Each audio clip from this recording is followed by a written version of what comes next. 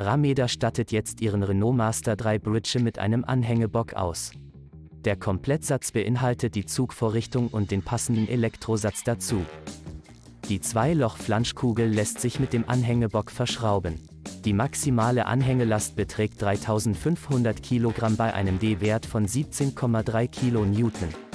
Der Kugelkopf ist für eine Stützlast von bis zu 120 kg ausgelegt. Im Lieferumfang ist eine 13-polige Steckdose enthalten. Geliefert wird eine vorkonfektionierte Steckdose. Das Paket kommt mit einem fahrzeugspezifischen Elektrosatz für Ihr Fahrzeug. Die Steckdosenhalterung ist fest mit dem Rahmen verbunden. Die Blinküberwachung erfolgt über eine zusätzliche Kontrollleuchte. Die Nebelschlussleuchte am Fahrzeug wird durch den E-Satz deaktiviert. Nach der Montage ist keine Fahrzeugkodierung notwendig.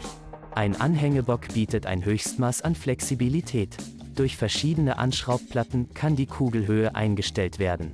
Diese Kupplungsvariante findet man in erster Linie im Transporterbereich wieder.